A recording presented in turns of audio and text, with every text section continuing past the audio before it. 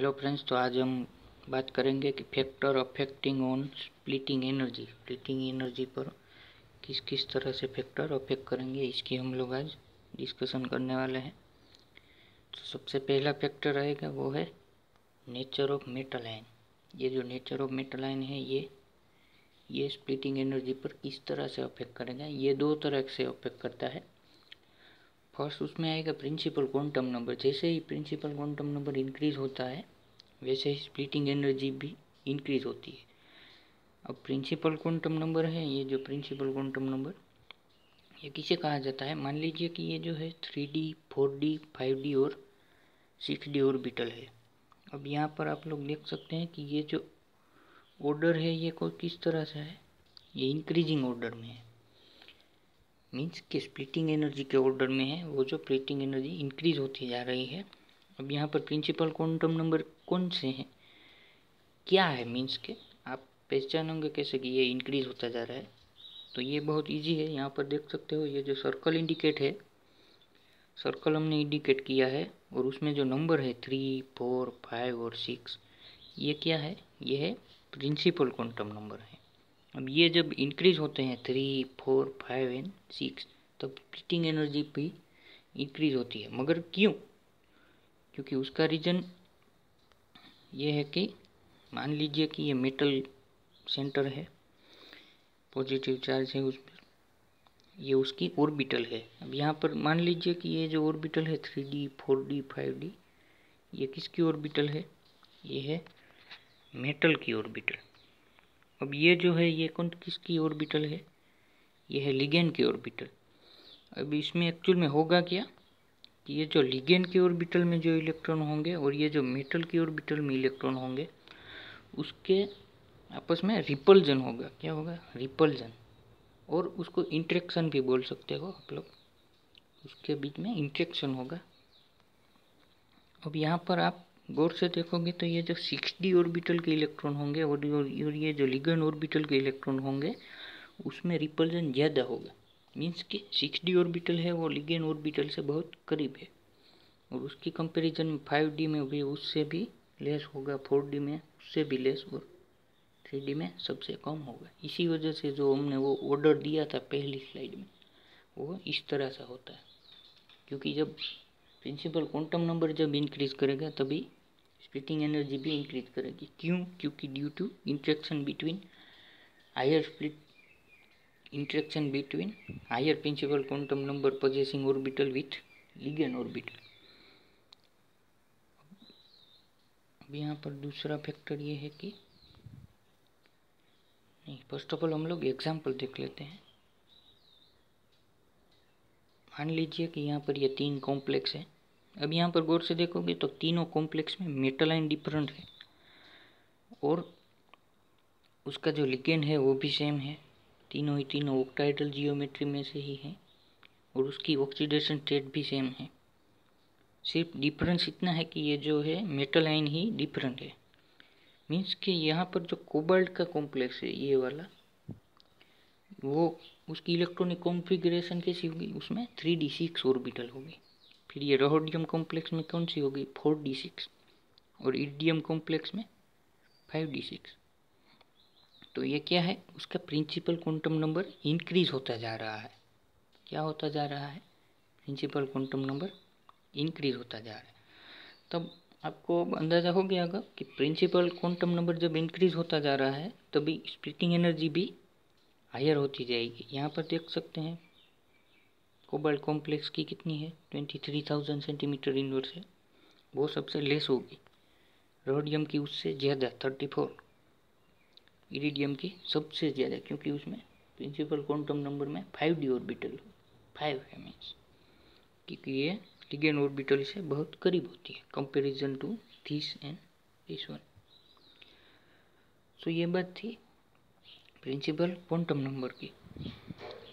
अब यहाँ पर आएगा oxidation state of metal ion कि जब oxidation state of metal ion क्या होगा इंक्रीज होगा तब क्या होगा? स्प्लिटिंग एनर्जी भी इंक्रीज होती जाएगी। क्यों? क्योंकि मान लीजिए कि ये कोई मेटल आयन है और उसके सराउंडिंग ये लिगेन है और लिगेन के ऑर्बिटल में क्या होते हैं? इलेक्ट्रॉन यहाँ पर हमने डिनोट किए हैं। ये जो है, ये क्या है? पिंक में इलेक्ट्रॉन है। अब मेटल लिगेन बॉन्ड कौन कौन सा होता है? कोऑर्डिनेट बॉन्ड होता है। ये चारों के चारों बॉन्ड कौन से हैं? कोऑर्डिनेट बॉन्ड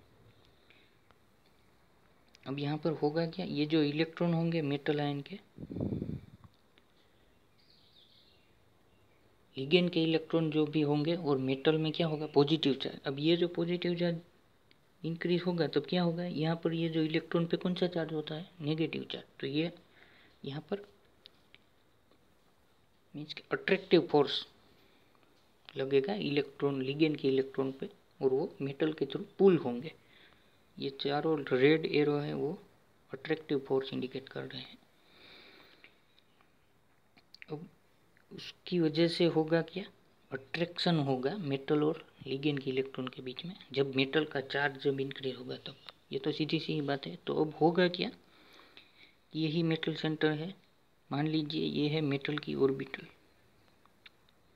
ऑर्बिटल मान लीजिए ये थ्री डी ऑर्बिटल है।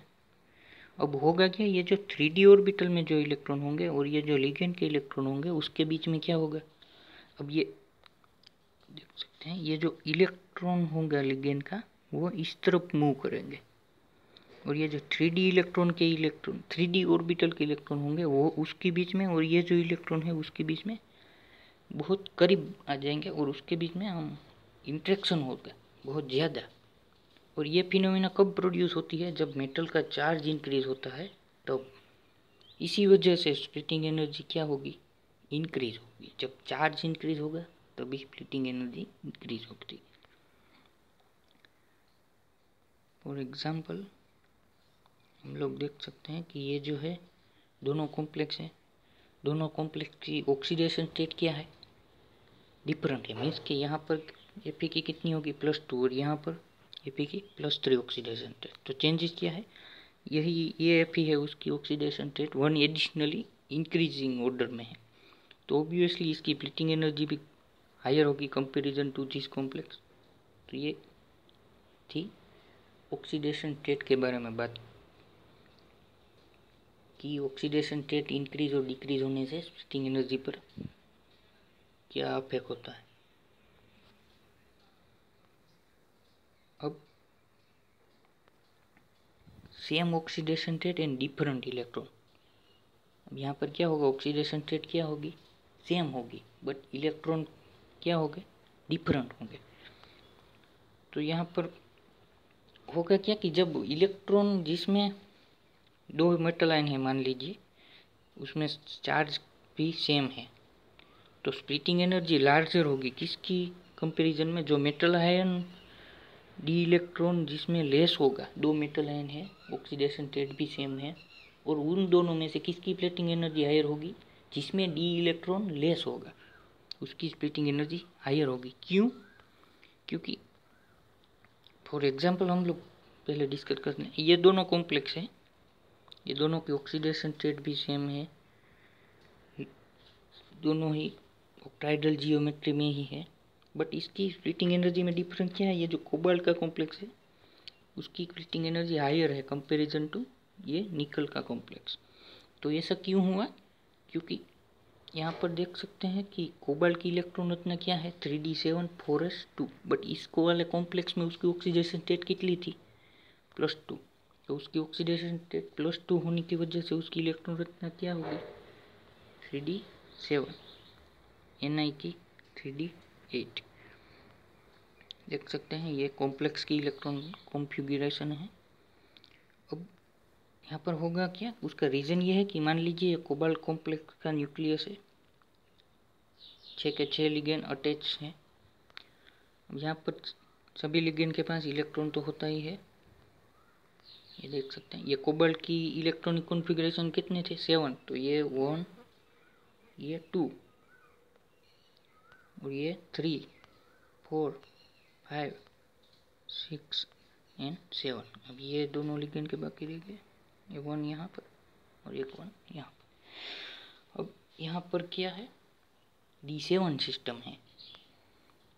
और ये एन आई के कॉम्प्लेक्स में डी एट सिस्टम है। वो आप लोग इलेक्ट्रॉनिक कॉन्फ़िगरेशन हमने बताई, वैसे ही है।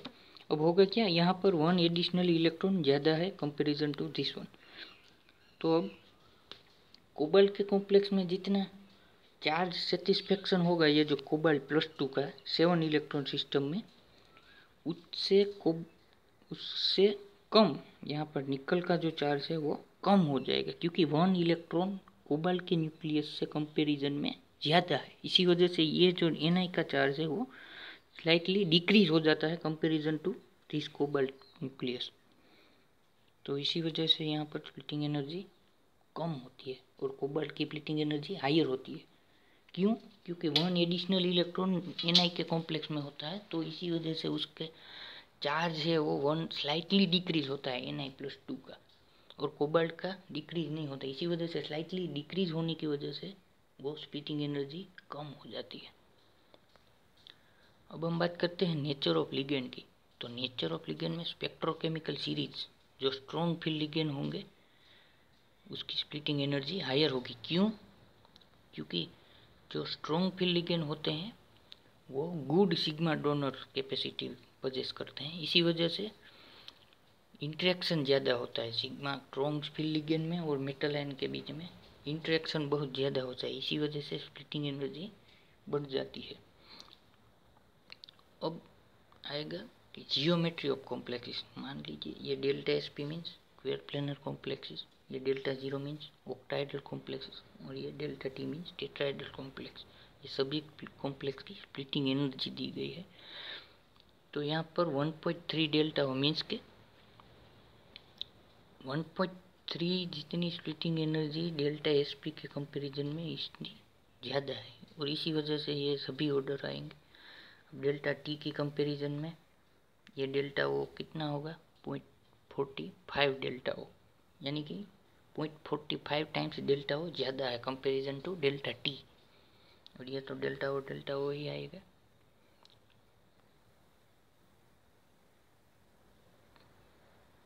अब ये ऑर्डर क्यों आया? क्योंकि ऑक्टाइडल कॉम्प्लेक्स होगा, उसमें सिक्स पेयर ऑफ़ लिगेन होंगे। ओके और टेट्राइडल कॉम्प्लेक्स होगा, उसमें फोर पेयर ऑफ़ लिगेन होंगे। मीन्स क्या? लिगेन जो होगा, वो four pair of electron donate करेगा। ऑक्टाइडल कॉम्प्लेक्स में six pair of electron donate करेंगे। अब होगा क्या? ऑक्टाइडल कॉम्प्लेक्स में सिक्स लिगेन है कंपेरिजन टू टेट्राइडल तो सिक्स लिगेन का इंट्रेक्शन ज़्यादा होता है कंपेरिजन टू टेट्राइडल कॉम्प्लेक्स तो ये बात थी फैक्टर ऑफ़ फैक्टिंग की। उन स्प्लिटिंग एनर्जी पे कौन तरह से फैक्टर अफेक्ट करते हैं? क्यों करते हैं? उसके एग्ज़ाम्पल भी हमने देखे।